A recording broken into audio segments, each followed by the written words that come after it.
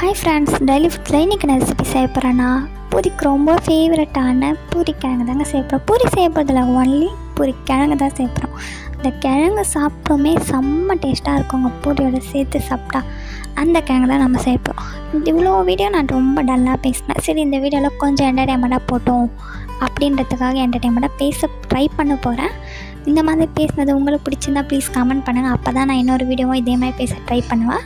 அதனால் வாங்க எப்படி இந்த மாதிரி பூரிக்கிழங்கு செய்கிறதுக்கு நான் உங்களுக்கு ஸ்டெப் பை ஸ்டெப்பாக எப்படி செய்யணும்னு சொல்ல போகிறேன் பூரிக்கிழங்கு செய்கிறதுக்கு ஃபஸ்ட்டு தேவையான பொருட்கள் தாங்க பார்க்கணும். அதுக்கப்புறமா எப்படி செய்யணும்னு செய்முறையும் பார்க்கணுங்க. அதுக்கப்புறமா தான் நம்மளுடைய பூரிக்கிழங்கு ரெடி ஆகும். வாங்க இப்போ செய்யலாம். ஸ்டார்டிங்கில் நான் என்ன சொன்னேன்? தேவையான பொருட்களை ஃபஸ்ட்டு பார்க்கணுன்ட்டு அதனால் உருளைக்கிழங்கு நல்லா வேக வச்சு எடுத்துக்கோங்க. ஒரு ஆறு ஆறு உருளைக்கிழங்கு கிட்ட இருக்கும். கொஞ்சம் திக்குது அதுக்கப்புறமா உளுத்தம்பருப்பு அதுக்கப்புறமா பூண்டு வந்து தோல் சீவி நல்லா கட் பண்ணி எடுத்துக்கோங்க குட்டி குட்டியாக அதுக்கப்புறமா வெங்காயத்தை கட் பண்ணி எடுத்துக்கோங்க. ஒரு ரெண்டு வெங்காயம் அதுக்கப்புறமா தக்காளி அதுக்கப்புறம் கொத்தமல்லி கருவேப்பிலங்க. அவ்வளோதாங்க இதெல்லாம் கட் பண்ணி எடுத்துக்கோங்க. அதுக்கப்புறமா அரைக்கத்துக்கு ஒன்று இருக்குங்க. அது வந்து என்னென்னா இஞ்சி பச்சை மிளகாய் கொத்தமல்லிங்க இதெல்லாம் வந்து நம்ம அரைக்க போகிறோம் அவ்வளோதாங்க இந்தாங்க தேவையான பொருட்கள். தேவையான பொருட்கள்லாம் பார்த்தாச்சு. இப்போ நம்ம செய்முறையை பார்க்கணுங்க. தேவையான பொருட்கள் பார்த்ததுக்கப்புறம் தான் செய்முறை. இப்போ என்ன பார்க்க போகிறோம் செய்முறை. செய்முறைனா எப்படின்னு உங்களுக்கே தெரியும். எப்படி செய்யணும்னு தான் பார்க்க போகிறோம் நம்ம உருளைக்கிழங்கு வச்சுருந்தோம் இல்லையா? அதில் வந்து மஞ்சள் பொடி ஆட் பண்ணிக்கோங்க.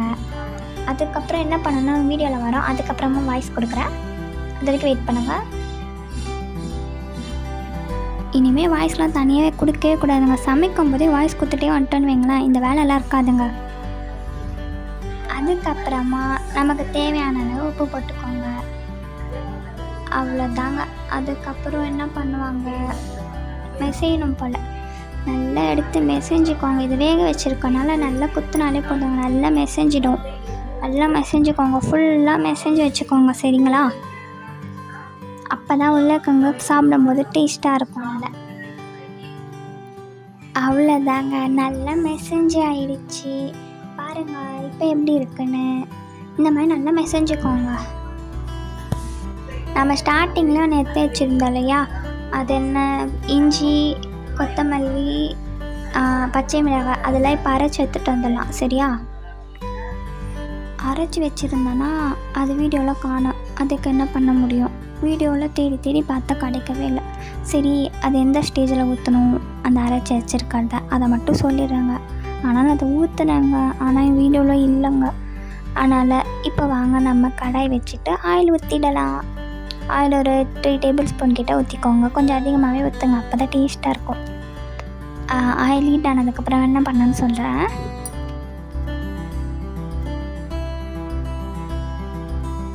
ஆயில் ஹீட் ஆனதுக்கப்புறமா எப்பயும் போல் கடுகு போட்டுருங்க. கடுகு கொஞ்சம் வெடி அவங்க கையிலலாம் பட்டுரும். அதனால் கடுகு போடும்போது மட்டும் கொஞ்சம் தள்ளி நின்றுக்கோங்க சரியா? எங்கள் அம்மா எப்படித்தே போகிறாங்கன்னு தெரியல. எனக்கு அதுனா பயம். அதுக்கப்புறம் கடுகு போட்டு கருவேப்பிலை போட்டால் கூட எனக்கு கொஞ்சம் பயம். ஐயோ அது அதுக்குள்ளேயே எங்கள் அம்மா வந்து உளுத்தம்பருப்பு போட்டாங்க. உளுத்தம்பருப்பு போட்டுருங்க. அதுக்கப்புறமா கருவேப்பிலை போடணும் போல். தெரியல. பூண்டு பூண்டு போட்டுக்கோங்க. நல்லா ஃப்ரை பண்ணிக்கோங்க. அதுக்கப்புறமா வந்து வெங்காயத்தை போட்டுருங்க. வெங்காயம் வந்து கொஞ்சம் நல்லா ஃப்ரை ஆகணுங்க.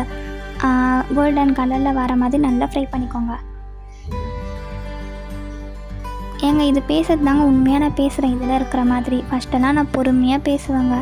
அதனால தான் அந்த வீடியோலாம் கொஞ்சம் தெளிவாக இருக்கும். இது கொஞ்சம் தெளிவாக இல்லைன்னா கொச்சிக்காதீங்க. இந்த வீடியோ மட்டும்தான் அப்படி இருக்கும். அதுக்கப்புறமா தக்காளி போட்டுக்கோங்க. இது வந்து நல்லா மெசைகிற அளவுக்கு நல்லா வந்து தக்காளி நல்லா மெசைனா அந்தளவுக்கு நல்லா ஃப்ரை பண்ணிக்கோங்க. ஏன்னா அதெல்லாம் நான் ப்ராக்டிஸ் பண்ணிவிட்டு பேசுவேன். இதான் ப்ராக்டிஸ் பண்ணாமல் அப்படியே பேசுகிறேங்க அதனால தான். அது என்ன கங்கன்ட்டு இல்லைங்க.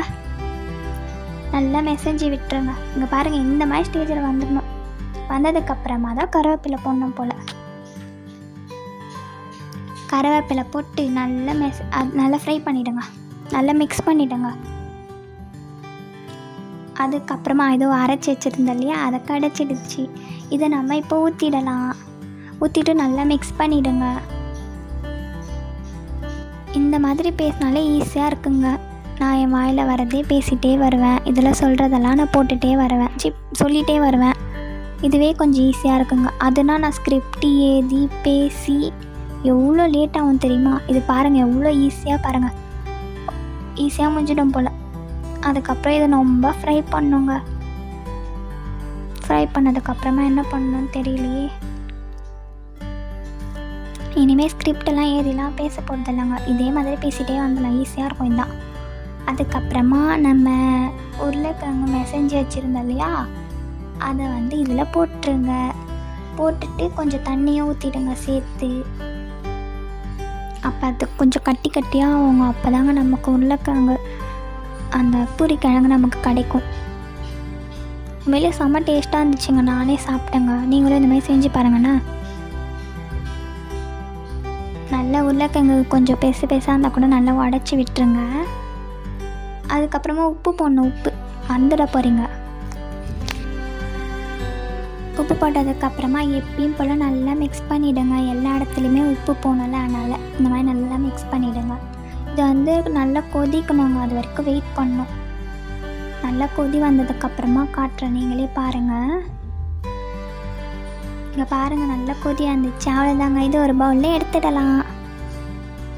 அவ்வளோதாங்க நம்மளுடைய கேங்கு ரெடி ஆயிடுச்சு. நீங்களே இதே மாதிரி செஞ்சு பாருங்கள் உண்மையிலேயே செம்ம டேஸ்ட்டாக இருக்கும். நான் ரொம்ப ஏற்று ஏற்று பேசுகிறோம்ல வாயில் வந்து தாங்க பேச முடியுது. நான் ஸ்கிரிப்டெல்லாம் எழுதவே இல்லை. அப்படியே தான் பேசுகிறேன் அதனால தான். வீடியோவில் வரது அப்படியே பேசிகிட்டே வரலான்ட்டு. ஒரு ஃப்ளோலேயே வந்துட்டேன் ஃபுல் வீடியோவை பேசி முடிச்சிட்டேன் எப்படி இருக்குது இந்த மாதிரி பேசலாமா? அப்படின்ட்டு நீங்கள் கமெண்ட் பண்ணிங்கன்னா நான் இதே மாதிரியே பேசுவேன்.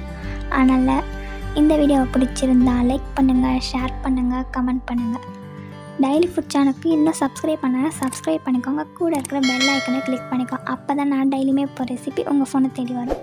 தேங்க்யூ பாய் நான் சொல்ல மறந்துட்டேனே இப்போ இந்த கிழங்கு எடுத்து பூரிக்கு சர்வ் பண்ணிவிடுங்க அவ்வளோதான் நம்மளுடைய பூரி கிழங்கு ரெடி ஆயிடுச்சு.